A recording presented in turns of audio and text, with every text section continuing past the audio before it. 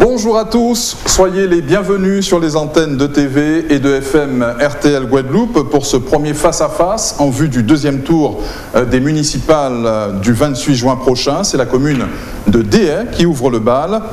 Déhay, où deux candidats, vous le savez, se présentent. Le maire sortant, Jeannie Marc, arrivé en tête le 15 mars dernier, avec 49,58% des suffrages, et son challenger, Fred Goubin, qui lui a obtenu un peu moins de 29% des voix. Le troisième candidat, Angebert Valuette, qui pouvait se maintenir, a finalement renoncé. Nous accueillons donc sur ce plateau Jeannie Marc et Fred Goubin, euh, les deux finalistes donc de ce deuxième tour ADR. Bonjour à vous. Bonjour Monsieur Fendéré, bonjour à la population de la Guadeloupe et surtout bonjour à la population d'ADR. Fred Goubin, vous êtes le bienvenu sur notre plateau également. Merci beaucoup, euh, Monsieur Fendéré. Bonjour à la Guadeloupe, bonjour à DIA. Alors, ce débat va durer euh, environ une heure. Nous veillerons évidemment à l'égalité des temps de parole, au respect du moins de l'égalité des temps de parole. Euh, on a respecté également la distanciation sociale. Le tirage au sort a réalisé juste avant euh, cette émission euh, a désigné Jeannie Marc pour prendre la parole à l'entame de ce face-à-face et Fred Goubin pour conclure en fin d'émission. Il nous importe pour commencer de vous entendre, Jeannie Marc, c'est vous qui avez la parole en premier, de vous entendre sur vos ambitions, pourquoi êtes-vous candidat et quels enseignements tirez-vous du premier tour? Alors, euh, Disons que la première chose que je dirais euh, au début de cette émission, c'est de remercier les 1128 électeurs qui ont choisi la liste des rassemblés la force d'une ville, les remercier très chaleureusement euh, d'avoir su braver euh, les événements et puis d'avoir porté leur suffrage sur notre liste malgré la période un peu difficile malgré euh, un certain nombre de choses qui ont été dites. Et je voudrais vraiment les remercier chaleureusement et aussi profiter pour remercier aussi et féliciter la population d'Air, le personnel euh, communal ainsi que les élus pour leur implication dans euh, la, la, pandémie, dans la lutte contre la pandémie que nous avons eu à vivre à DR en Guadeloupe et dans le monde euh, à partir du 16 mars. Donc mes premiers mots seront pour euh, remercier et féliciter. Après, euh, je dirais que nous avons commencé un travail, nous avons engagé DS sous la voie d'un développement qui est apprécié de la population, quoi qu'on en dise. Et il est important de pouvoir continuer ce travail commencé pour à la fois gérer l'après-Covid, puisque il faut tenir compte des problèmes de sécurité, mhm. mais aussi euh, gérer le quotidien de la population suite à cette pandémie et après continuer aussi dans la voie du développement de la commune. Donc voilà les motivations. Et puis euh, les Désiens le savent, les Guadeloupéens le savent, euh, mhm. je suis très attaché à cette commune, donc c'est tout à fait normal que je, sois présente ici euh, dans le cadre de ce second tour des élections euh, municipales et communautaires. Parfait. Fred Goubin, ambition, pourquoi êtes-vous candidat et ce que vous retenez du premier tour? Bien, Monsieur Fendéré, je crois que j'ai déjà eu l'occasion de vous exposer mes ambitions. Je vais les reprendre, ça ce n'est pas un souci. Ce que je retiens du premier tour, euh, c'est que votre analyse dit que le maire sortant est arrivé en tête. Moi, mon analyse est de dire qu'elle a été battue de 19 voix. Elle a été battue de 19 fois parce que la majorité de désirs a voté pour le changement. Ça, c'est déjà un premier élément. Une majorité de désirs a voté pour le changement, malgré euh, euh, euh, tout ce qu'il y a eu dans la période préélectorale. Ils n'ont pas suivi majoritairement le maire en place. Donc elle a été battue de 19 voix. Donc ça c'est déjà un premier élément.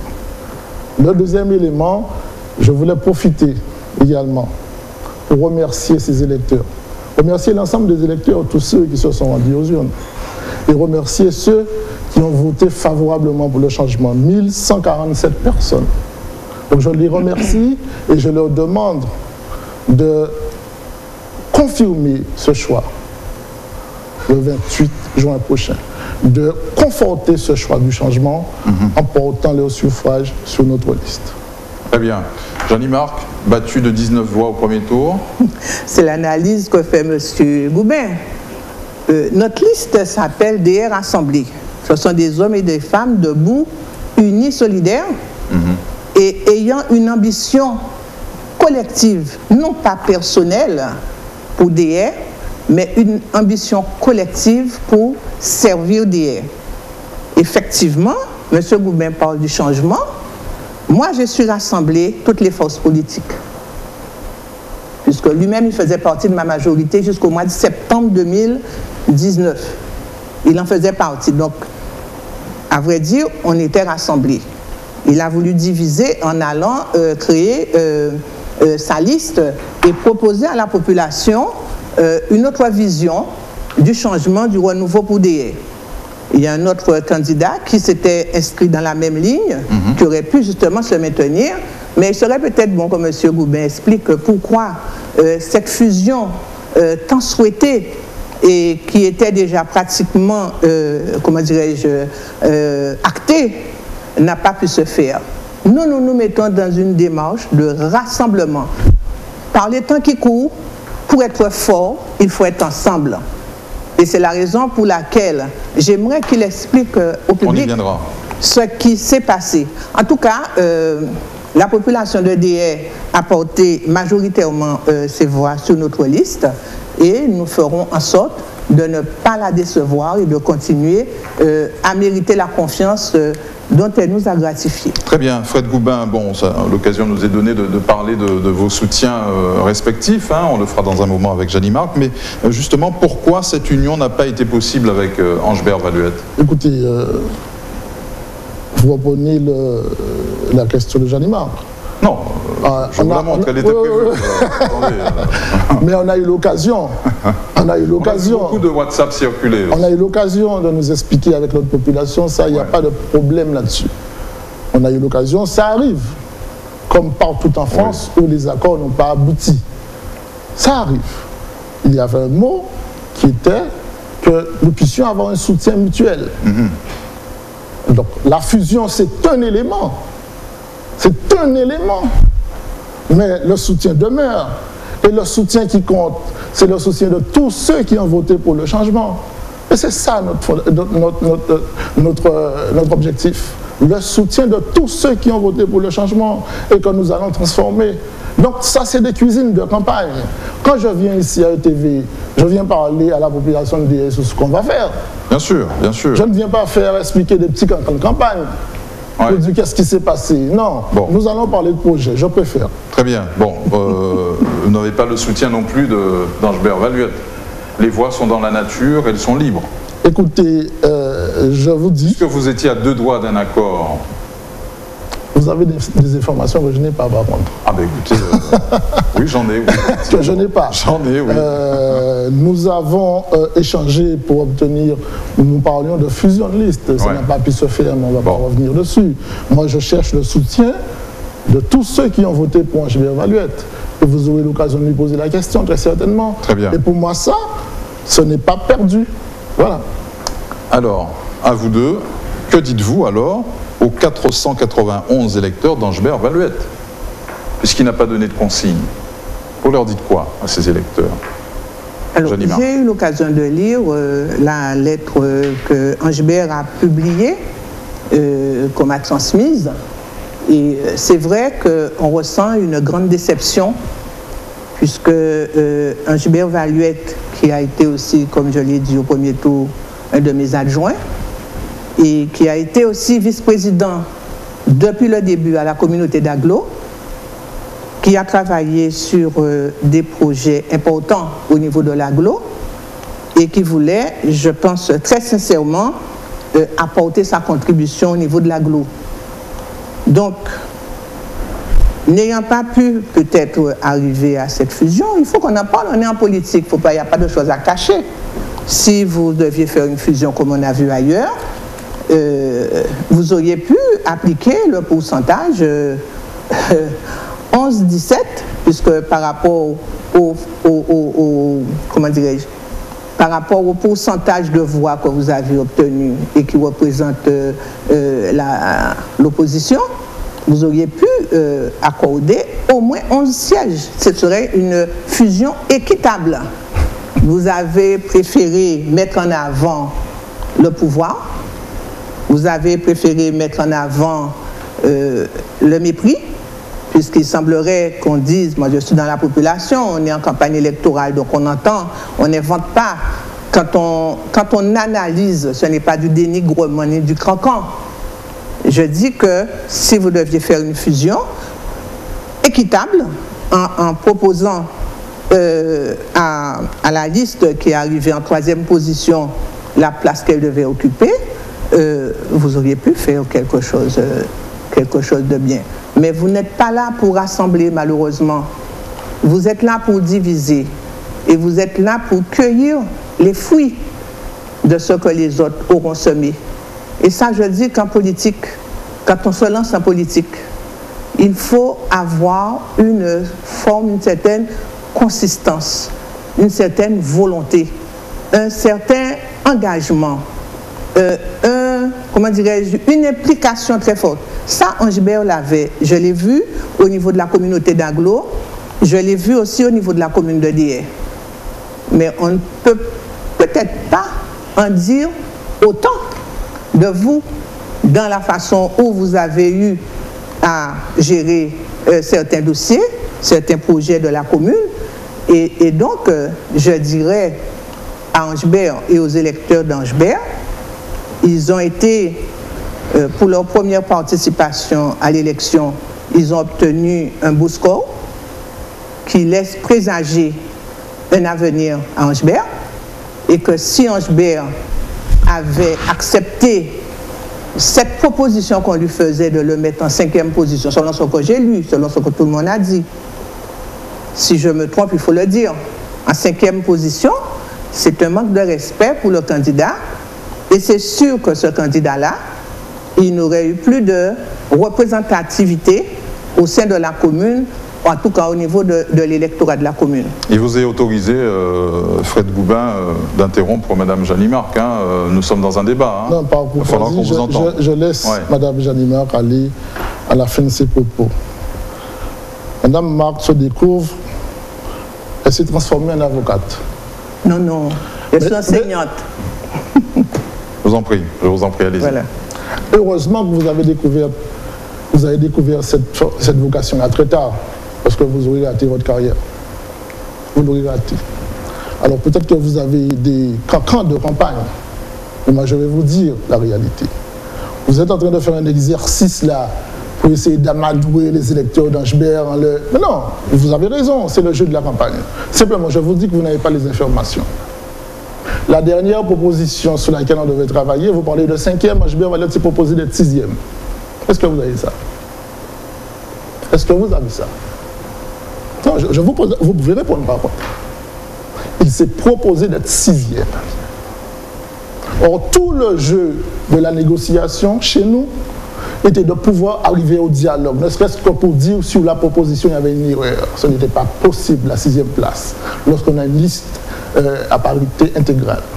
Voilà un élément que vous avez. Pour le reste, vous avez raison aujourd'hui. Vous avez raison.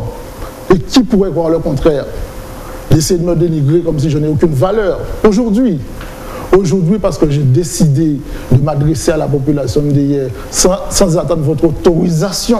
Alors ça, ça ne vous a pas plu. Je peux comprendre également. Parce que vous avez toujours considéré les gens comme des dociles. Les gens, vous les avez toujours considérés comme des Kleenex. Vous vous servez de ces gens-là et vous jetez le Kleenex après. Eh bien non. Nous avons pris nos responsabilités avec des amis et nous sommes venus à dire, présenter un projet à la population. Le projet, il est là. Je veux en discuter avec vous, comparer le, vôtre au mien. Le projet, il est là. Et lorsque les électeurs qui votent et qui nous placent en deuxième position pour ce projet, vous avez le droit de respecter ces électeurs-là. D'accord? Et les autres, ceux d'HBR Valuette, ces gens-là, ils sont libres de leur voix. Nous allons, nous leur proposons de venir avec nous parce qu'ils ont voté pour le changement. De venir avec nous pour que nous puissions commencer à travailler enfin pour DE. DE a besoin de renouveau. DE a besoin de changement de tête. de d'autres personnes, d'une équipe Mais vous nouvelle. étiez là depuis 2000, je ne suis pas là depuis 1995. Mais Angebert était là Vous depuis êtes là depuis 95. 1995. Mais et on a le aussi- droit. mais On a- aussi ce n'est était pas là en parce que- 95. Ce n'est pas Et vous, vous êtes arrivé en On peut- 2001. Allez-y. Voilà. Ce n'est pas C'est parce terminé, que... monsieur non, non, voilà. Non, non, allez-y, monsieur Goubin, Si vous ne voulez pas Ah, mais entendre écoutez, ça... non, non, si non, vous ne non, voulez pas non, entendre non, ça et que ça non, vous gêne, non, non, je non, peux non. Ça comprendre me gêne pas du vous tout. N'avez pas l'habitude de la contradiction. Et c'est ça votre problème. Vous, êtes, vous pensez que vous êtes au sein du conseil municipal, vous donnez, quand vous voulez la parole, vous interrompez. Non, nous sommes dans un débat, un minimum de courtoisie vis-à-vis de moi. Même si vos sentiments ont changé. C'est pas bien. Ah non, pas du tout. C'est pas bien. Pas grave. du tout. Tout ce que j'ai La à vous dire. la politique, la politique, c'est quelque chose et la vraie vie, c'est autre chose. Tout ce que j'ai à vous dire, Madame Marc, vous découvrez aujourd'hui que j'ai toutes les tares du monde. Qui va vous derrière Vous croyez que quelqu'un va vous derrière Essayez de trouver d'autres arguments. Essayez de trouver d'autres arguments pour convaincre. Pour convaincre les gens qui n'ont pas voté pour vous et pour convaincre les abstentionnistes. Alors soyons sur un débat sérieux, un débat sérieux, un débat d'idées, un débat de fond. Je ne suis pas sur les cancans. Très bien. Alors, on va tourner cette page. Il s'est passé beaucoup quand de même, choses. parce Oui. qu'on parle de cancan et je ne suis Très pas rapidement, une femme et de on- cancan. il faut qu'on avance. D'ailleurs, on a fait de moi des- une image, j'ai entendu des choses pendant cette campagne et la population qui me connaît sait que l'image qu'ils ont donnée de moi n'est pas la, la véritable image. Quand vous dites on a besoin de voir changer de tête, Angebert était là depuis 95 en même temps que moi. Il n'est pas venu en 2014 et vous, Monsieur Goubin, vous savez pourquoi il n'est pas venu. Vous savez pourquoi il n'est pas venu. Non, on ne va pas rentrer dans les cancans, puisque Attendez, quand on essaie de donner des explications, vous parlez de cancans. Attendez, mais vous, vous êtes arrivé, vous étiez à mon cabinet depuis 97 ou 98. Vous avez travaillé sur mon programme de 2001 et sur les autres. Mais même beaucoup- Vous avez été directeur de cabinet pendant longtemps. Vous avez été mon suppléant aux élections Bien, bien sûr. cantonales de Mais vous 2008. n'apprenez rien à personne. Et vous êtes adjointe au maire depuis 2008. Mais vous n'apprenez rien Et vous avez attendu septembre 2019 Et alors septembre 2019 pour démissionner. Vous mais, voulez- mais si ça n'allait pas, comme vous dites, vous si ce n'était pas bon, si le programme n'était pas bon, vous auriez dû, dès 2014, dire que vous ne venez pas. Pour moi, dans ce sens-là, Angebert est plus, euh, euh, M. Valuette est plus crédible que vous, dans la mesure où il n'est pas venu. Il m'a dit non, je ne voulais pas, je veux aller à la communauté d'Aglo. Mais comme il ne pouvait pas y aller, il a dit qu'il préfère ne pas venir et faire l'impasse. Mais il savait qu'il devait préparer quelque chose, ce qu'il a fait. Vous, vous êtes resté au peloton. Et c'est votre attitude.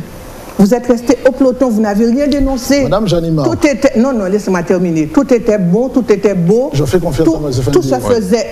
Tout se faisait pour le mieux. On était ensemble. Et brusquement, au mois de septembre, je dis bien septembre 2019, vous partez. Très bien. De même qu'un autre qui vous a rejoint, j'ai été obligé de le démissionner euh, après le Covid. Parce qu'il n'a pas démissionné, il était troisième adjoint, il n'a pas démissionné. Parfait. Donc comment appeler un tel comportement pour Il des faut gens laisser- qui doivent donner l'exemple? Il faut laisser M. Goubin répondre et, bon, après, Ma- on passe à autre chose. Madame Janine c'est une déformation. Une déformation que vous avez. Vous croyez que vous devez dire aux gens ce qu'ils doivent faire en démocratie?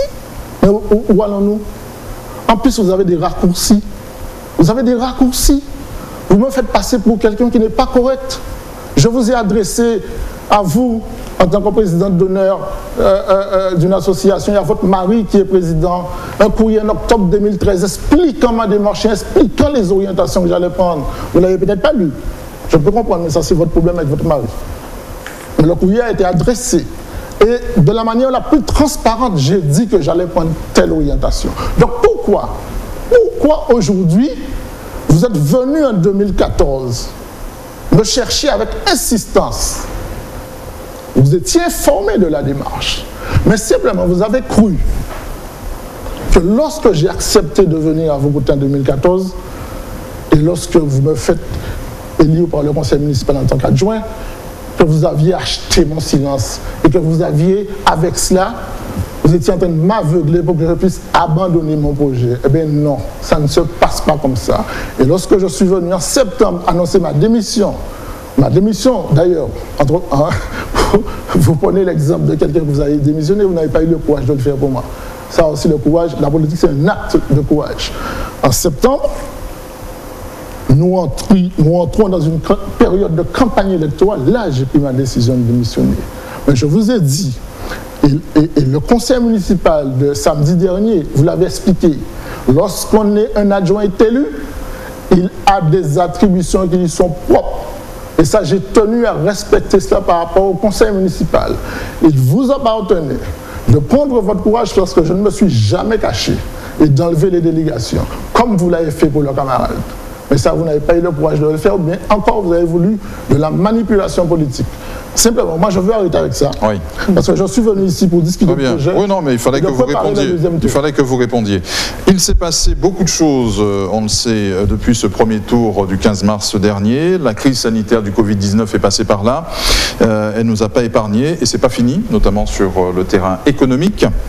Des haies, communes touristiques à prix cher, comme toutes les autres communes de notre archipel.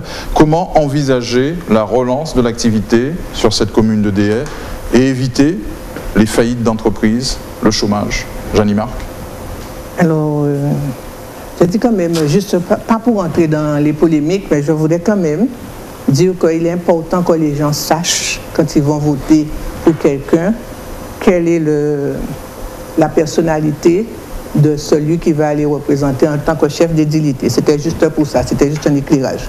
Alors, c'est vrai que nous avons eu le Covid-19 comme euh, dans toute euh, sur la planète. Mhm. Et que ADN, nous souffrons particulièrement puisque on sait que la plus grande partie de l'activité de la commune est basée sur euh, son attrait qui est touristique. Et donc, nous avons, c'est la raison pour laquelle nous avons organisé euh, deux visioconférences, une en présence du président de la CCIG, M. Vial Collet, et une autre en présence d'un représentant de, euh, de, la Chambre de commerce et d'industrie. Nous avons aussi rencontré les marins pêcheurs sur leur lieu de travail. En fait, pour nous, c'était l'occasion de faire le point euh, avec les entreprises pour savoir où elles en étaient et surtout qu'on puisse leur apporter un certain nombre de conseils euh, de conseils, euh, de, points euh, d'aide de, la part de les aides de la part de l'État, de la région et l'accompagnement de la CCI. Et nous avons aussi créé une plateforme téléphonique pour que les gens qui ont besoin de renseignements puissent se rapprocher de nous pour qu'on puisse les diriger. Parce que vous savez, euh, depuis euh, la loi de décentralisation, euh, la compétence économique est confiée à la région et aux EPCI. Mhm. Donc la commune ne peut qu'apporter un, accompagnement. et donc nous avons eu ces visioconférences, donc les chefs d'entreprise étaient très contents de pouvoir les entendre. Et puis nous avons aussi euh, par exemple, on a pris une délibération pour exonérer de, euh, le loyer euh, que doivent payer les locataires de nos locaux commerciaux, en tout cas ceux qui sont à jour de, leur cotisation. Et nous sommes à leur côté, nous sommes à leur côté pour pouvoir les, rassurer, leur apporter des réponses, mais surtout les accompagner dans les démarches qu'ils auraient à faire auprès des différentes instances. Mais c'est vrai qu'il y a une grosse morosité en ce moment. Et je profite pour féliciter le Jardin botanique qui a organisé euh, une journée porte ouverte dimanche, ce qui a amené beaucoup de Guadeloupéens à venir à Dié. Donc ils sont allés manger dans les restaurants, ils sont allés sur la plage. Et avec euh, l'Office de tourisme intercommunal, nous sommes en train, nous sommes en train de finaliser un projet euh, non-bastère euh, durable et euh, en faisant un programme sur chacune des communes qui composent la communauté d'Aglo. Et ce qui permettrait aux touristes locaux de venir chez nous, passer une journée et leur proposer un certain nombre d'activités sur le territoire. Ce sera dans chacune des communes mhm. de euh, l'Office de tourisme intercommunal, de la SANBT. Et donc, euh, ils savent que nous sommes là à leur écoute et qu'en cas de besoin, les communes n'ont pas trop de, euh, comment dirais-je, de de compétences dans ce domaine-là. Mais les, entreprises savent que nous sommes à côté d'eux pour pouvoir les accompagner, apporter des réponses. Euh, avec tous les autres partenaires, notamment nous avons rencontré la Direction générale des finances publiques, etc. Nous avons fait un geste pour eux en lissant et en reportant pour ceux qui ne l'avaient pas encore fait pour leur permettre d'avoir un peu de trésorerie au niveau de la taxe de séjour. Mais comme c'est un, c'est comme la TVA, il faut la payer, mais on a préféré euh, lister, reporter un peu plus tard mhm. et les accompagner pour leur permettre de reprendre l'activité. Mais nous savons que ce sera très difficile euh, à dire puisque euh, la grande partie de l'activité euh, de la commune est tournée autour de son attrait touristique. Très bien. Fred Goubin, que proposez-vous pour garantir la relance de l'activité ADR, accompagner Que pouvait-on faire de plus, de mieux? Je vais revenir, je vais vous étonner. Mhm. je vous avoue que je suis très inquiet. Mais je suis dans un état d'esprit où, comme l'a dit le président pour paraphraser, nous sommes en état de guerre.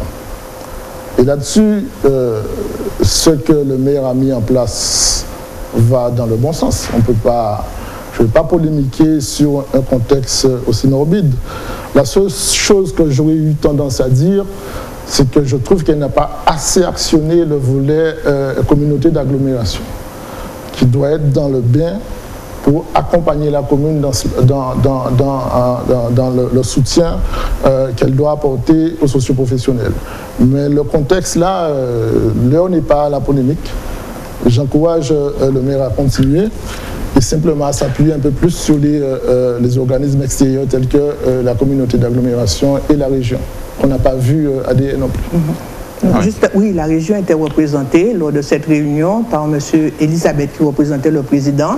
Et comme c'était une visioconférence, donc la CNB n'était pas présente dans la salle, et autant pour moi.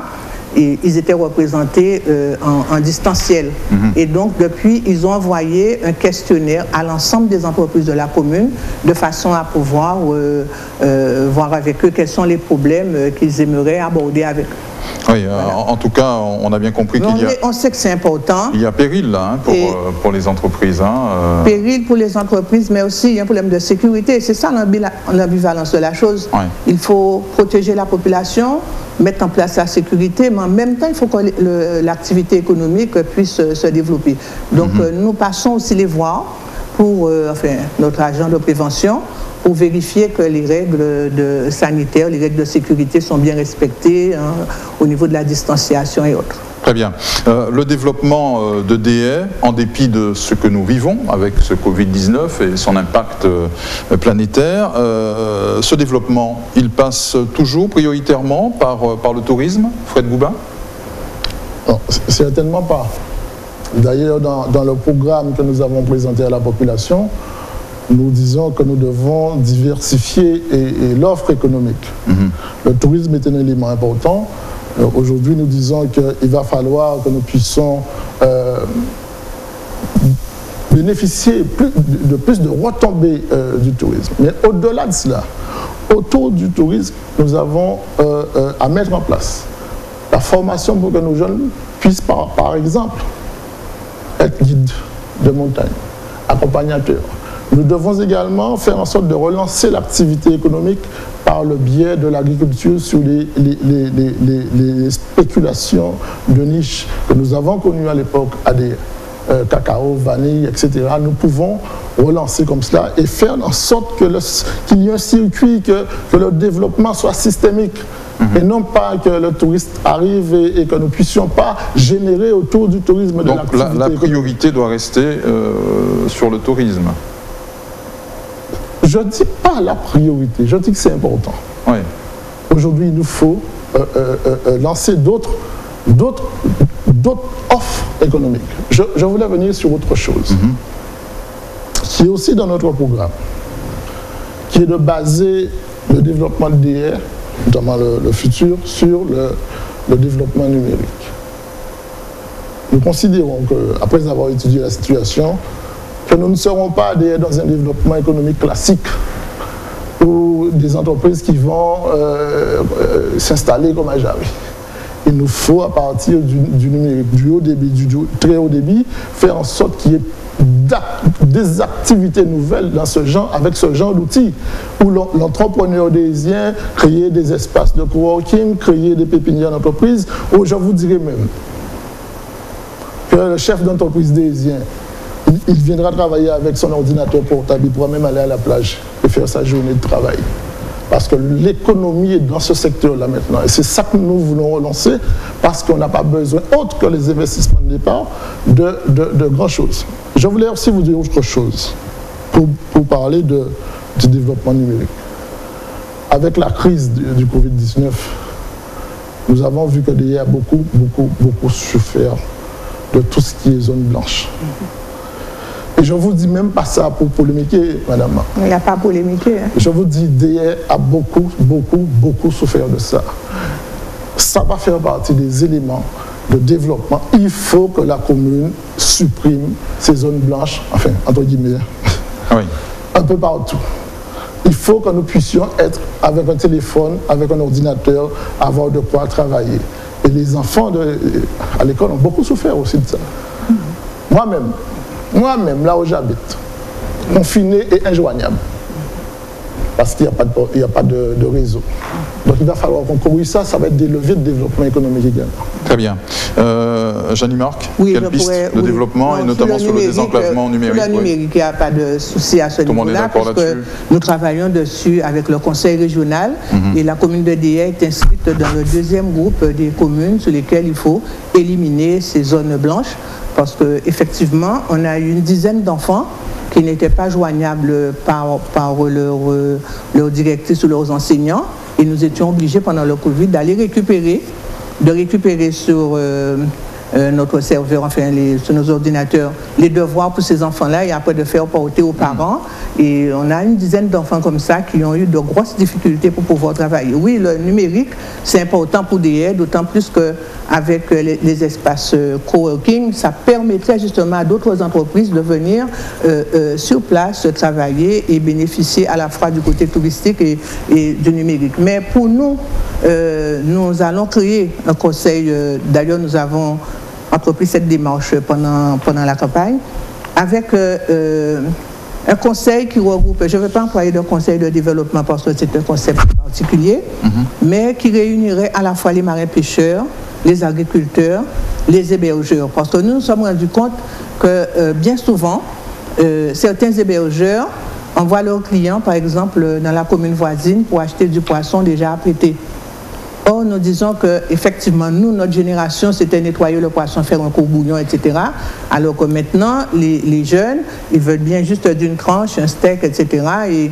Et, d'ailleurs, c'est la raison pour laquelle nous sommes en train d'installer pour eux provisoirement, enfin, euh, une installation provisoire pour permettre justement aux marins pêcheurs de pouvoir proposer le poisson écaillé et parfois le poisson déjà préparé.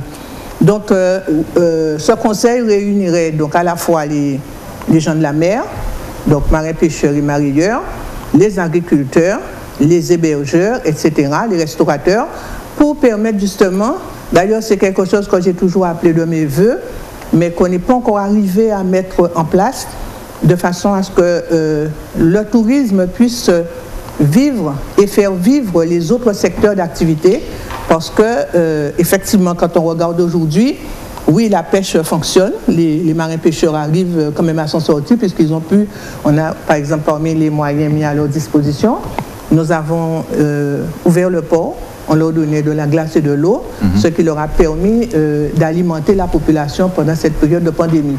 Donc, l'une doit faire vivre de l'autre, et d'autant plus qu'au niveau agricole, nous avons des terres qui sont relativement saines il n'y a pas eu de chlordécone. Donc on peut proposer autre chose. Donc il y a des jeunes et des moins jeunes agriculteurs qui se sont déjà plus ou moins impliqués. L'essentiel, c'est de mieux organiser et de mieux euh, euh, créer le contact entre les différents euh, acteurs économiques. Très bien. et je voulais juste ajouter aussi, bon, on a l'audiovisuel et on a le film qui va commencer sa dixième saison. Death in Paradise, euh, qui fait connaître des sur le plan euh, mondial mhm. et qui quand même euh, a des retombées économiques quand la région investit 500 000 euros pour accompagner cette entreprise, c'est plus de 2 millions et plus de 2 millions et demi, 3 millions qui sont reversés dans l'économie Mhm. euh, en termes de location de véhicules, en termes de location de maisons, en termes de services, en termes de etc. etc. Très bien. Donc, Ouais. euh, Euh, des, voilà. des retombées suffisantes, selon vous, Fred Boubin, pour prendre cet exemple-là? Non, non. euh, on ne peut pas dire que les retombées sont suffisantes. On va dire qu'on a encore des efforts à faire pour obtenir de cette société du film des- un retour plus important sur investissement. L'investissement financier de la région, mais l'investissement en termes de gêne pour la population. Donc, c'est vrai, il ne faut pas cracher dessus, mais nous considérons que ce n'est pas suffisant. Alors, Je comment faire juste mieux ajouter en termes de Comment faire retombées, mieux, oui. juste en termes de retombées pour le film, il y a quand même depuis la création du film un BTS euh, audiovisuel Oui. au lycée de Pointe-Noire. Et les jeunes peuvent faire leur formation Mhm. et depuis aussi une licence à, à l'UMA, à Saint-Claude, qui permet justement à nos jeunes qui, justement, c'est le domaine dans lequel il y a un taux de chômage le, le- le plus bas. Très bien. Bon, je vais pouvoir la poser enfin, ma question. Comment faire mieux à et surtout avec quel programme? Fred Boubin, vous avez la parole. Comment, comment faire mieux ADR Euh, Quel programme? On a fait une faute. On ne vous l'a pas envoyé.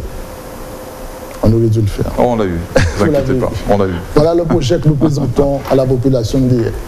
Pour le renouveler, pour le renouveau, bien sûr, on est sur une échéance de mandature de 6 ans, mais ce n'est pas un projet qui va se réaliser en 6 ans. Le programme que nous présentons à la population euh, est basé sur 10 piliers. Je vais vous faire l'économie de tout cela. Nous disons simplement, nous prenons quatre engagements prioritaires. Mais tout ça, ça s'inscrit dans un contexte de programme. hein un contexte de programme pour vous dire, vous allez comparer, ce n'est pas une affaire de pages, mais il y a quand même quelques pages dedans. Parce qu'il y a une réflexion qui a été nourrie, il y a une étude euh, de la situation, un diagnostic de la commune, et nous avons sorti ça. Nous prenons des engagements prioritaires. Engagements prioritaires. Le premier, c'est de rendre attractive la commune de DR pour essayer d'enrayer la baisse de la démographie scolaire. Parce que nous, nous- nous assistons quand même à une catastrophe à DR une école qui est fermée et la, la- la population scolaire qui baisse régulièrement. Je pense qu'il va falloir enrayer ça et trouver des mesures pour rendre attractive la commune, pour attirer de nouveaux enfants, voire de nouvelles familles. Comment vous comptez faire sur ce point-là particulièrement Sur ce point-là particulièrement, nous avons développé dans notre programme l'idée de, pour rendre attractives les écoles, je ne parle même pas de faire venir de la population par les logements, pour faire venir les enfants, faire en sorte que les écoles de DIA puissent offrir, par exemple, donner des prestations supplémentaires, offrir le petit déjeuner, par exemple, à tous les enfants de DIA. Peut-être avec ça, on va attirer les, enfants de Baye-Argent, de Dibonne, de Dizir, pour enfin arriver à terme, à terme, parce que c'est dans un objectif politique, à la cantine à un euro. Et lorsque, lorsque les, les- nos voisins vont entendre, ou voire plus que nos voisins, qu'il y a cette qualité de vie dans les écoles de DR, peut-être qu'on va attirer des familles, en tout cas on va remplir les écoles. Ça, c'est une idée politique. Parce qu'on doit pouvoir trouver des solutions par rapport à la baisse de la démographie scolaire. Nous disons aussi que nous devons profiter de la fermeture de l'école de Riflette pour lancer une vraie politique en faveur de la petite enfance. Faire de, l'école qui est fermée un pôle dédié à la petite enfance. Nous avons des choses à faire, mais pas parce que ça vient de notre tête. hein. C'est parce que nous allons rassembler les professionnels du secteur et faire en sorte que l'école ne reste pas fermée et que l'école ne soit pas utilisée à des, des fêtes. Madame Ma. Non, Non. que l'école ne soit pas utilisée pour, pour- pour être, pour être trivial à des bois et manger. Il faut que nous arrivions à utiliser cet espace-là parce que vous avez fait du bon boulot dans les écoles. C'est pas que vous, vous n'avez rien fait. Vous avez lancé un programme de déshumanisation des écoles, vous avez fait des choses. On ne peut pas rester là, regarder l'école, Mais non, mais euh, s'abîmer sur lui-même. vous- Je vous- finis. non, non, juste nous, nous voulons relancer également l'agriculture. Vous allez pouvoir répondre tout à l'heure. L'agriculture et promouvoir, comme je vous ai dit, les filières d'avenir. Ouais. La commune a un potentiel pratiquement de 13 hectares de foncier. L'idée, c'est de pouvoir les mettre à disposition des porteurs de projets. Et tout, tout ceci, c'est pour permettre aux jeunes d'avoir des chances de réinsertion. Et puis, je vais vous dire quelque chose. Aujourd'hui, tout le monde a l'air de penser que c'est de la fête. Nous voulons relancer le mouvement carnaval escalier. Ce n'est pas dans l'optique de fête, mais c'est parce qu'autour du carnaval, il y a quand même tout un gisement d'activité et que nous pensons que nous pouvons aussi occuper notre jeunesse, nos artistes, nos artisans à cela. Ce sont les quatre engagements Une économie du carnaval à Voilà. voilà. Ce sont les engagements prioritaires. Sinon, nous avons un programme sur 10 piliers qui aborde tous les aspects de la vie. Euh, on parlera du financement hein, dans, un moment, lorsqu'on évoquera donc les questions de, fiscalité euh, et, de budget de, la commune de Dieppe, voir comment vous allez financer euh, tout ça. je crois que vous avez comblé votre retard de temps de parole, donc c'est très bien. vous êtes à 17 minutes chacun environ. Jeannie Marc, quel programme? Alors, je voudrais juste répondre, et après je vais revenir mhm. sur le programme. Concernant euh, la baisse euh, des effectifs dans les écoles, nous avions senti venir euh, cette baisse depuis un moment et avec justement la directrice de la caisse des écoles, on avait essayé de voir comment on mettait en place un certain nombre de projets justement pour que les écoles de la commune ne puissent pas se retrouver dans cette perte. Vous savez, aujourd'hui, je pense cette année 2020, c'est l'année de tous les dangers. Pourquoi? Parce que 2017, il y avait le Zika et il y a beaucoup de femmes qui ont revu leur projet de grossesse. Ce qui veut dire que habituellement, sur la commune de Die, il y avait entre 40 et 50 naissances, ce qui nous permettait de pouvoir prétendre environ 67, 60 à 70 enfants maternels. Eh bien, cette année, c'est 20 naissances. Et sur les 20 naissances, ce n'est pas sûr que les 20 familles restent à DS. C'est vrai qu'il y a des arrivées, des départs, etc. Mhm. Mais c'est vraiment un problème pour les classes maternelles. C'est une baisse démographique qui est nationale. La population diminue partout. Et donc, DS euh, euh, comment est encore plus sanctionné dans la mesure où l'accès, la, route nationale qui mène euh, la majorité des gens sur leur lieu de travail, que ce soit à Bémao, après Tapit ou aux abîmes, ces personnes-là, bien souvent, sont obligées de partir avec leurs enfants puisque euh, y a des difficultés.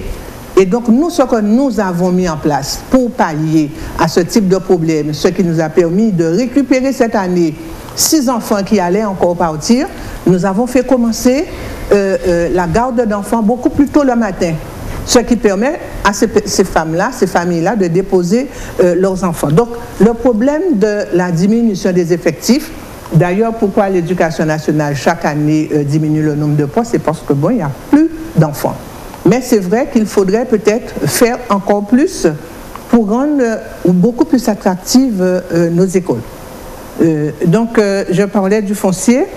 Merci d'avoir reconnu qu'il y a 13 hectares de foncier et que nous avons vraiment travaillé pour euh, réaliser une belle réserve. Nous, c'est qui? Une belle réserve Nous, c'est qui, Madame Marc Non, mais je ne vous ai pas coupé, laissez-moi Non, non, mais dites-nous. Euh, nous avons une belle réserve foncière qui permet aujourd'hui de prétendre avoir soit du terrain pour la construction, mais aussi du terrain euh, naturel et qui pourrait aussi être utilisé pour le domaine agricole.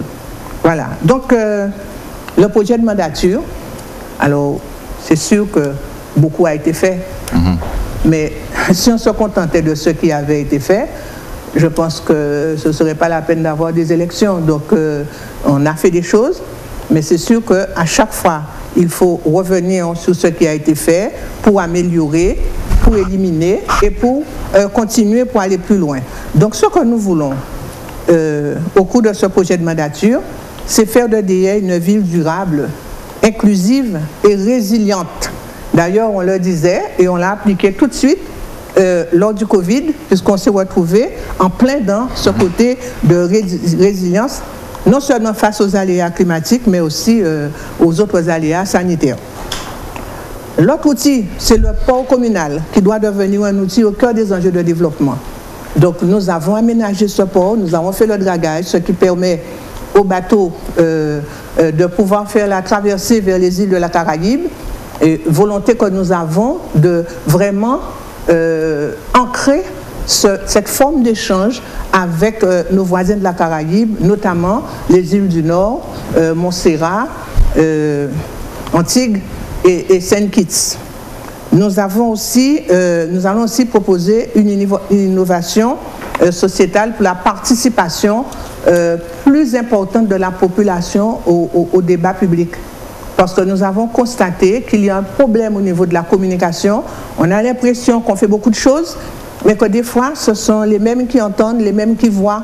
Donc on doit travailler encore plus euh, euh, euh, les moyens que nous allons utiliser pour que la population soit plus au fait et plus partie prenante des, projets qui vont se faire sur la commune. Très bien. Et puis, vous dire que pour nous, je l'ai laissé le meilleur pour la fin, pour nous, c'est la jeunesse.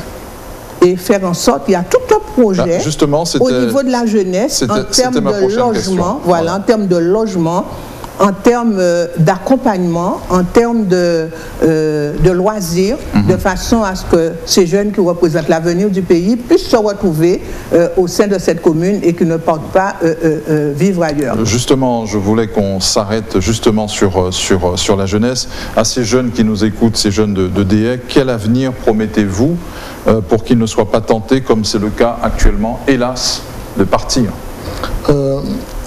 L'avenir euh, ne dépendra pas que de nous. Évidemment. Nous, allons prendre notre part dans cette question-là. Vous faites bien de poser la question des jeunes qui ont maintenant 25 ans.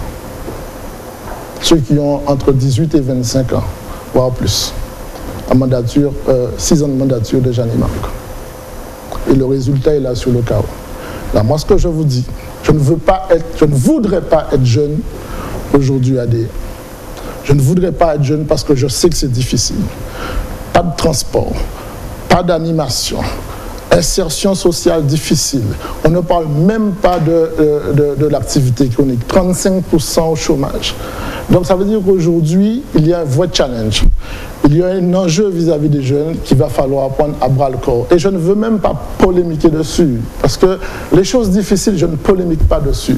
Il va falloir les prendre à bras le corps, mais avec des propositions de solutions. Quand nous disons que nous voulons mettre à disposition des porteurs de projets euh, euh, des terrains agricoles. C'est pour pouvoir insérer quelques-uns euh, au niveau de l'agriculture. Mais il y a aussi d'autres métiers, d'autres activités que le jeune aime bien autour des arts, de la culture, de la musique. Il va falloir qu'on soit proactif, proposer des choses. Notamment, je ne sais pas, moi, un studio d'enregistrement de musique, il y a des artistes en herbe un peu partout, mais c'est les accompagner sur, ce qu'ils aiment et vraiment être à leur côté. Nous ne souhaitons pas traiter les problématiques de la jeunesse comme ça se fait actuellement. On essaie de les aveugler à tout bout de champ avec euh, un petit contrat par-ci, un petit contrat par-là, euh, à l'approche des élections, on double les effectifs, et puis après, on ne s'occupe plus de personne. Parce qu'aujourd'hui, j'aurais bien aimé demander à Jeanne Marc, avez-vous évalué euh, euh, tous ces contrats que vous avez fait sur des années, combien de jeunes avez-vous insérés Ça, c'est de la poudre aux yeux il va falloir arrêter avec ça. Il va falloir chercher des solutions audacieuses. De jeunes. Audacieuses, oui, c'est un sur 25 ouais, Non, mais j'ai un exemple de jeune il va falloir qui chercher dans un emploi jeune et qui est aujourd'hui directrice au niveau de la commune de D. Audacieuse. Non, il va, pas dire il va falloir chercher des solutions audacieuses. ne dites pas n'importe quoi. Ne prenez pas 4 non, ou 5. Je ne vous laisse pas dire n'importe quoi. Ne prenez pas 4 ou 5 emplois ce vous faites là, c'est de la démagogie. ce ne sont même pas vos dispositifs, ce sont les dispositifs du gouvernement. On vous demande aujourd'hui, en tant que maire de DR, qu'est-ce que vous mettez en place? Vous vous inscrivez dans une politique nationale. Évidemment, madame, je ne vous dirai pas le contraire. Qu'est-ce que vous arrivez vous-même? Je ne vous dirai pas le contraire. mais, aujourd'hui, soyez naturel et soyez vous-même. Ce que vous faites là maintenant, c'est de la démagogie. C'est de la démagogie. Vous pouvez le qualifier Quand si on regarde aujourd'hui, on a le club La Frégate qui est en train de monter en R2 parce qu'ils ont eu les conditions pour travailler. Nous avons euh, un club d'escrime qui, qui, qui donne des résultats.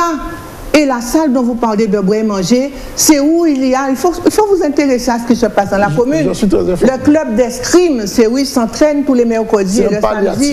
Est-ce que vous savez qu'il y a le dojo? C'est un Il y a un dojo installé aussi. Madame, ce sont non, des non, mais vous dites n'importe quoi. Je ne peux pas vous laisser dire n'importe quoi, monsieur Goubin. Vous avez parlé, je ne vous ai pas coupé. Laissez-moi parler. Quand vous parlez des vous jeunes, énervez, madame, vous n'avez pas, pas dans vos habitudes. Non, non, non. Ce n'est pas dans vos habitudes de vous énerver. Qu'est-ce qui se ah passe? Suis pas énervée. Je ne suis pas énervée, bien au contraire. Mais j'ai du mal à vous reconnaître à travers ce que vous, dites. Vous me connaissez tant que ça Ah ben bien sûr. D'accord. Bien. Bien sûr. Pas eu. Si je ne vous connaissais pas, Je non, on ne peut pas laisser dire n'importe quoi. Au niveau culturel, nous avons une école de musique, une école de musique qui fonctionne très bien, qui a euh, avec de grands musiciens qui sont euh, les professeurs de musique. Je ne peux pas laisser n'importe dire n'importe quoi. Et la population de DIR qui participe à, à- à- à toutes ces activités ne peut pas laisser quelqu'un euh, euh, dire n'importe quoi. Je vous croyais beaucoup plus sérieux. Parfait. Vous avez été. Non, c'est Après pas- 25 ans de mandature, une dire- école de musique Non, l'année non, dernière. non. Et vous êtes Non, satisfait non, de votre non, non. Bravo. Non, Fred Goubin. Fred Goubin, Alors. vous êtes de mauvaise foi. Bon. Vous êtes de très Je mauvaise n'ai pas foi. l'habitude de vous voir comme ça, madame. non, je ne suis pas passe? Mais vous êtes de très mauvaise foi. Et l'avenir, l'avenir vous montrera. Vous me du doigt Oui, aussi L'avenir, Oh mon Dieu. Vous êtes- l'avenir. Vous êtes, vous êtes agressive, madame. Poursuivons. Moi, je ne suis pas agressive. Poursuivons. Pas du tout. Fred Goubin, vos grands projets, les grands chantiers que vous avez euh, à proposer aux Désiens et aux Désiennes. Alors, j'ai donné une partie là par rapport aux engagements. Je vais vous dire, il y a quand même un certain nombre d'infrastructures qui manquent cruellement à. Aujourd'hui, euh, et nous l'avons mis dans notre programme, nous le proposons à la population, il nous faut un espace polyvalent, une structure, nous appelons ça un grand marché, où à cet endroit, les agriculteurs vont vouloir venir écouler les productions, parce que tout ça c'est lié au terrain que nous allons mettre à disposition, où nous allons trouver les marins pêcheurs avec tout ce qui tourne autour, et où nous allons aussi trouver nos artisans et artistes qui puissent venir. C'est un espace d'animation économique, ça manque cruellement à dire. On ne peut pas aujourd'hui continuer à dire, que ce soit à Ferry, au bout ou ailleurs, de voir les gens, les marins pêcheurs, après une journée en mer, venir vendre du poisson dans une glacière sur le trottoir. Ça, ce n'est plus possible. Il va falloir qu'on crée cet espace économique. Nous disons également que l'avenir de l'IS, c'est dans la réflexion. La réflexion de l'aménagement du territoire. Et non pas réaliser des petits éléments coup par- au coup par coup à l'approche des élections. Nous disons qu'aujourd'hui, il faut un espace de détente à dire, et un équipement polyvalent en termes de culture et de sport. C'est pour ça que je dis que le dojo, l'escrime, tout ce que vous avez mis à réfléchir, ce sont des palliatifs. Il va falloir être audacieux et proposer un projet sérieux. Ce projet-là était dans la mandature au niveau du financement de la communauté d'agglomération. Nous nous disons simplement que nous allons le remettre à l'ordre du jour pour porter ces investissements nécessaires à dire. Ce sont des grands investissements. Jeannie Marc, même question. Vos grands Et projets pourquoi, et pourquoi le- ce- cet équipement n'a pas vu le jour? Madame Marc, vous étiez chef de la délégation Non, à la non. communauté d'agglomération. Ah, Il non, fallait non, venir non. travailler par contre. hein. Ah non, vous étiez. Il fa- il fallait venir travailler. Vous, vous étiez les deux vice-présidents. Rappelez-vous. Vous étiez chef. Lors de l'élection. Arrêtez. Lors de l'élection de M. Losbar, Oui. Non, vous mais- avez été deuxième vice-président. oui, bien sûr. Moi, j'ai été obligé de me retirer. Vous êtes retiré de quoi Parce que vous êtes obligé d'être vice-présidente pour travailler pour la commune? Non, non, mais vous, Vous êtes étiez là. conseillère communautaire, Mais- mais chef de la étiez- délégation. Mais vous étiez. Et vous étiez là où se prenaient les grandes décisions, mais vous ne venez pas travailler à, la- à ce qu'ils ont appelé le conseil des maires, la conférence des maires. Il fallait venir Mais travailler, Guadeloupéens madame. vous monsieur Il fallait venir travailler. Ne- N'aggravez pas votre cas. N'aggravez pas votre cas. de Les lier- Guadeloupéens vous entendent. Arrêtez de lier le travail des élus à des postes de vice-présidence ou Mais c'est ce que vous, aviez voulu faire. Vous avez failli vous battre Oh, contre bon devant. Mais va te dire ça. Manqué dit même. Vous avez failli vous battre derrière la mairie de Sainte-Rose quand je vous ai Madame dit Marc, vous que j'avais, j'étais vice-présidente et qu'on me donnait un deuxième poste de vice-président. Donc mettez-vous Madame d'accord. Marc, vous êtes sérieuse Mais, mais Goubin, Ça ne vous ressemble pas, ça Goubin, Ah, Goubin. Vous êtes sérieux? Les Guadeloupéens me connaissent. Et quand vous Non, les avez Guadeloupéens dit, ne vous connaissent pas. quand vous avez dit, je ne me laisserai pas marcher dessus, je, je, je vais faire un scandale, je ne veux pas dire ça. Je vous ai dit non? Eh bien, écoutez, je vais me retirer et je vous envoie. Et comme euh, Angebert n'avait pas euh, voté pour l'OSBAR, je vous ai demandé d'être le deuxième vice-président et je me suis retiré. Et on peut aller demander à tous ceux qui ont fait partie du conseil d'administration du bureau en même temps que vous, où vous étiez toujours en train de vous chamailler. Madame Fred Marc, vous avez des trous de mémoire énormes. Ah là là, on y va. On je suis Alzheimer. Je finis tout aujourd'hui. Je suis Alzheimer. Et toutes les personnes qui ont plus de 65 ans. Je dis simplement, ce sont vos propos. Il y a une différence entre toute mémoire et Alzheimer. C'est vous, hein, je ne connais pas, je ne connais pas votre état de santé. Vous l'avez dit. La seule chose que je vous dis, c'est que vous avez des trous de mémoire et que ce jour-là, la communauté d'agglomération, j'ai simplement dit, je signe un mandat pour un collègue qui va voter à ma place et je m'en vais. Oui. Pas vrai.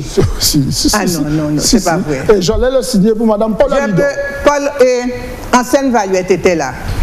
Jacques Offrand était là. Vous pensez que ça intéresse le. Ah ben oui, mais les gens doivent savoir à qui ils vont confier la commune. Mais ils vont nous croire. Qui, ça fait beaucoup de choses à votre actif. Vous avez ces paroles d'évangile, Monsieur Boubin, Monsieur Boubin, ces paroles d'évangile, ça fait beaucoup de choses à votre actif. Le poste de vice-président de la communauté d'Anglo, la discussion que vous avez eue avec Monsieur Mathiazin, alors que vous l'avez enregistré à son insu et que vous avez fait sortir par la suite, ce que vous venez de faire, ce que vous avez fait à, à, vos, à vos collègues au niveau du conseil municipal. Vous êtes venu déposer votre RIB le 2 et vous avez envoyé la lettre le 4 pour dire que vous démissionnez.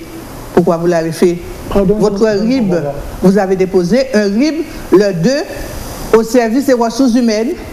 et vous avez démissionné le 4 ou le 7. et ce que vous, avez fait, quand même des choses assez... Non, non, il y a rien. je veux simplement répondre. Non, ne, Madame ne mettez pas. Et son équipe ils ont fait campagne sur ce thème-là, ADR. Et nous avons été qualifiés quand même. Qu'est-ce qui vous gêne comme ça? Arrêtez de rajouter. Arrêtez d'en rajouter. Je n'ai pas déposé de RIB. Vos services m'ont appelé avec insistance parce que le percepteur le demandait un RIB. D'accord? Ça, c'est un premier élément. Deuxième élément. Et pourquoi vous l'avez déposé le 2 Fred Goubin. Bon, euh, on arrête vous pensez que ça intéresse les, on, on arrête. Mais bien sûr, vous n'êtes pas parvenu à les faire avaler ça pendant la, campagne? Pendant 15 jours dans la campagne? Bon. La population. Et moi, si je vous dis que vous êtes venu devant le conseil municipal faire voter une subvention pour votre association politique? Mais. Quoi, c'est quoi ça? C'est du conflit d'intérêts. Vous êtes en train tout le temps de faire des petites combinades. Vous n'avez même pas apprécié la gravité de votre geste. vous êtes venu avec une liste de subventions à faire voter par le conseil municipal par rapport à votre association politique. Il a fallu que je vous dise en toute amitié de retirer l'affaire. C'était un ami. Et ça là, c'est beaucoup plus grave. Non, vous savez, monsieur Fendere, juste pour vous expliquer, la société Skyprod, qui est voisin de mon local, nous demande pour déposer du matériel dans la cour de notre local. Et donc, depuis des années, la société euh, payait un loyer à l'association. Mais comme avec euh, le crédit d'impôt, ils ne pouvaient plus verser de subventions aux associations, ils ont demandé à la commune de reverser euh, les subventions. Et donc, comme cette association était là-dedans, mais on l'a retiré après, ils ont versé, ils ont versé la somme qu'ils devaient pour le loyer. Donc les, choses, non, non, les choses sont claires. Bien. Vous n'avez rien à dire. Vous mais je vais sortir des choses pendant cette deuxième partie de la campagne. Bon, nous aurons tous des choses à sortir. Nous aurons des choses à sortir. D'accord. Ça, ça, promet. Euh, on aimerait vous, Le temps est lancé. On, aimerait, on aimerait vous entendre sur les finances communales, euh, les marges de manœuvre de DA et la fiscalité. Janie Marc, en tant que maire sortante. Non, mais il peut parler de la fiscalité et des marges de manœuvre. Je ne comprends pas. Non, Janie Marc, je ne comprends pas. Où en sont les finances Alors, la commune de DA, justement, grâce à sa bonne gestion et grâce au conseil euh, euh, des organismes qui l'accompagnaient et à sa volonté justement de préserver l'avenir et donc de mettre en place les financements avec euh, les moyens, avec nos, propres moyens, a mis en place un plan pour pouvoir, disons, présenter mhm. pour cette nouvelle mandature un compte administratif que nous allons voter euh, à la fin du mois de juillet avec un, excédent de plus de 400 000 euros pour nous permettre justement de constituer notre autofinancement sans pour cela augmenter les impôts pendant euh, depuis 2016. Et donc, l'avenir se prépare. On ne peut pas euh, dire qu'on va faire des investissements alors qu'on n'a pas préparé en amont. Donc, justement, euh, il m'a fait perdre mon calme. Ah bon? Il m'a fait, perdre mon calme parce que, vous savez, quand vous croyez connaître quelqu'un et que vous découvrez que devant vous, la personne en qui vous avez cru n'est pas celle que vous aviez dans votre esprit, ça, ça crée quand même une petite perturbation. Mais j'espère qu'il va se ressaisir et qu'il redeviendra le garçon qu'il était. Parce que le garçon que j'ai connu n'était pas de mauvaise foi. Alors, pour revenir donc aux finances, mhm. donc nous avons une finance, euh, maintenant là, nous avons une capacité de remboursement euh, de moins de 8 ans, ce qui est plutôt rare au niveau de, au niveau de la Guadeloupe, et ce qui nous permet aussi de pouvoir euh, solliciter auprès des partenaires, que ce soit région, État, département, comment dire, la DRAC, fait les différents services, mhm. des, subventions qui l'Europe, des, subventions qui permettent de, de pouvoir euh, préparer l'avenir. Mhm. Et dans le cadre de notre PPI, le plan pluriannuel d'investissement entre 2018 et 2020, ce sont près de 4, 4 millions 800 000 euros que nous avons investis au niveau de la commune, ce qui est quelque chose de formidable. Et nous avons, euh, nous sommes parmi euh, les communes dont les délais de paiement sont les plus courts nous faisons en sorte qu'en moins de 30 jours, que nous puissions payer et les factures qui nous sont présentées. C'est la bonne gestion et nous faisons en sorte que les agents aient euh, euh, tous les éléments, euh, tous les, toutes les lois qui sont votées en leur faveur et nous avons aussi les investissements qui, correspondent au développement de la commune. Fred Goubin, votre analyse de la situation financière de la commune de DF Non, mais la situation est fragile. Il faut admettre que la situation. Oui, comme toutes les communes de Guadeloupe. Mais donc, par contre, l'argument fétiche de Mme Marc, qui consiste à dire que les impôts n'ont pas augmenté à dire, je dis non. L'analyse qui consiste simplement à prendre le taux et de dire que les impôts n'ont pas augmenté, je dis non. Je dis que l'impôt par habitant a plus qu'augmenté à dire et dans des proportions inconsidérables. 175% d'augmentation. De 2008 à 2017, la taxe d'habitation a augmenté de 176%. Mais les gens n'ont plus à payer la taxe d'habitation. Oui, bien sûr. Non, mais d'accord. 110% pour le taux. Je prends le foncier bâti 153% de l'impôt, euh, d'augmentation de l'impôt par habitant et les taux ont augmenté de 76%. Donc ça veut dire qu'il y a quand même une pression fiscale. Je reconnais que les choses sont difficiles, mais arrêtez, et j'ai eu l'occasion de vous le dire au conseil municipal, arrêtez de considérer que lorsque vous avez un taux, que l'impôt n'augmente pas. Il faut aller prendre la feuille d'impôt et de voir est-ce que d'une année à l'autre ça augmente. Et là, je ne parle que de la part communale. Et c'est pour ça que lors du dernier, lors du dernier vote du compte administratif, du budget, je n'ai pas voté pour. Je vous disais, il y a eu un gain du produit de l'impôt de 4,22% de soulager un peu les désirs en matière de, taux, parce que le poids était, était lourd. Vous n'avez pas voulu entendre. Mais simplement, je vous dis, je ne vous blâme pas. La situation est difficile. Mais arrêtez de faire croire à notre population que l'impôt n'augmente pas. La commune, la, la commune, le conseil municipal n'augmente pas la valeur du taux mais, après, quand on regarde le contenu, l'intérieur, c'est pas la commune qui augmente. La commune ne gère pas, mais n'allez pas faire croire aux gens. C'est pas, c'est pas, bien. Hein. Non, non, c'est pas bien de faire ça. la feuille d'impôt, la, feuille d'impôt augmente, mais les gens regardent, les taux sont toujours les mêmes. Donc, euh, ah, Très bien. Euh, pour terminer, le bilan que vous faites de l'intercommunalité avec euh, la communauté d'agglo du Nord-Bastère, quelle sera votre feuille de route communautaire si vous êtes élu ou réélu? Fred Goubin. Il y a quand même des dossiers qui n'ont pas. Je ne parle pas encore de gros projets d'investissement. Je parle simplement du quotidien des gens, le transport le transport, il va falloir qu'on puisse élargir l'offre de transport parce que la population souffre mhm. trop. Ça, c'est un dossier prioritaire. Je vais aussi parler de la question des déchets. Madame vous avez vu l'état de DN Je vous rappelle, vous êtes conseillère communautaire, mais je ne le suis pas.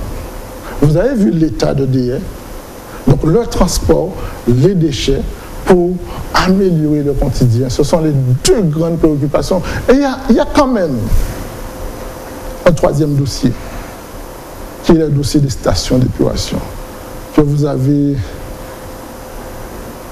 par la loi, transféré à la communauté d'agglomération. Mais madame, c'est une catastrophe. Il faut marcher à DE pour voir ça. Je vous invite à marcher au niveau du marais. C'est que des émanations d'odeur. Non, non, non, mais Ça date d'aujourd'hui Vous étiez en charge du développement euh, Vous étiez en charge de ce domaine-là hein? L'assainissement a été transféré il n'y a pas longtemps. Moi, je vous dis ça, c'est pour soulager notre population. Non, non, mais non. C'est simplement pas... Allez à Ferry.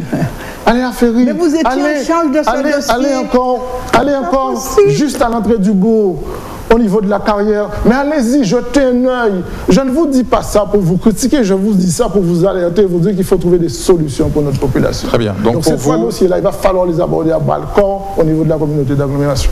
Comment faire mieux, Janimar, en matière d'intercommunalité Non, mais quand j'entends Goubin dire ça, c'est lui qui avait en charge de ce problème-là. Il ne faisait rien. Et voilà, mais parfait, parfait. Bon, alors, non, je, dirais qu'effectivement, au niveau de la communauté d'agglo, la situation euh, financière et budgétaire de la communauté d'Aglo a pratiquement obéré toute volonté de développement euh, voulue par euh, l'équipe 2014-2020. Euh, Je ne vais pas rentrer dans les détails, ce n'est pas la peine de revenir dessus. Mm-hmm. Mais toujours est-il que nous avons beaucoup souffert, non pas de la de l'organisation des déchets et du transport, mais c'est surtout de la gestion sur le terrain.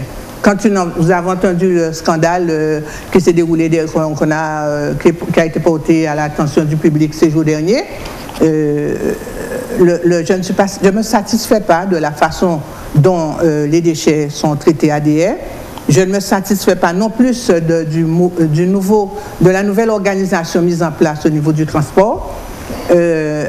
C'est vrai qu'il y avait des équipements sur lesquels on avait travaillé dans le, dans le cadre d'un plan pluriannuel d'investissement au niveau de la CNBT, mais qui n'a pas vu le jour pour des alors que d'autres communes ont eu des équipements. Nous avions deux représentants, mais bon, les choses n'ont pas, pas été faites. On, a quatre, on ne peut pas dire, on ne peut pas dire, on ne peut pas dire que, on ne peut pas dire que euh, DE est vraiment bénéficié de cette manne.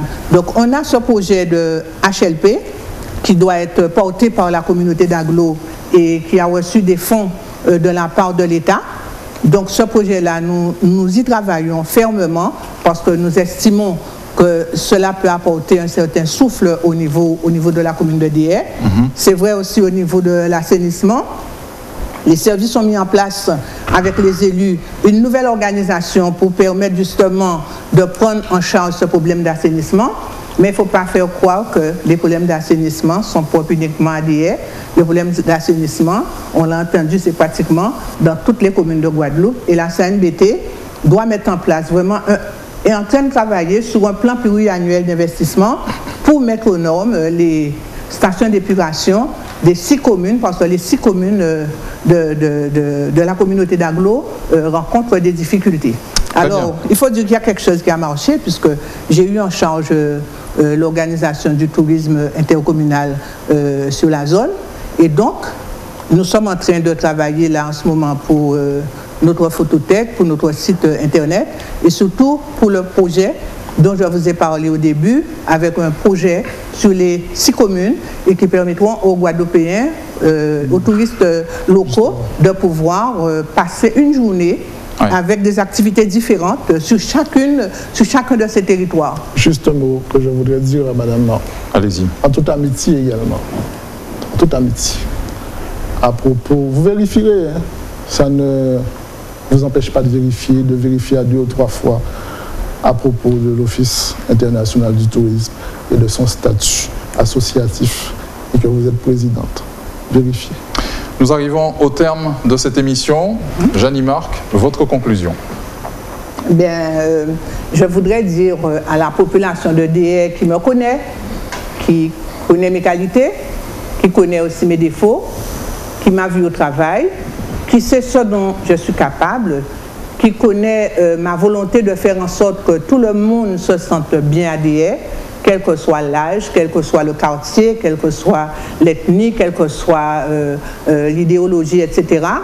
Et que je leur demande de nous faire confiance à nouveau, la liste DIE rassemblée, la force d'une ville, pour pouvoir continuer ce développement souhaité par eux, puisque le programme que nous proposons a été élaboré avec eux et a été validé par eux.